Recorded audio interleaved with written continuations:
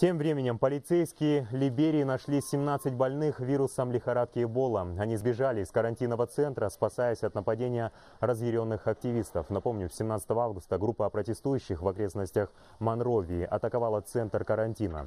Злоумышленники похитили медоборудование и постельные принадлежности. Между тем, в Испании госпитализирован мужчина с симптомами, похожими на вирус Эбола. На днях он вернулся из Сьерра-Леоне, где был с рабочей поездкой. К сведению, общее число жертв с декабря прошлого года достигло уже 1229 человек. Свыше 2000 инфицированы.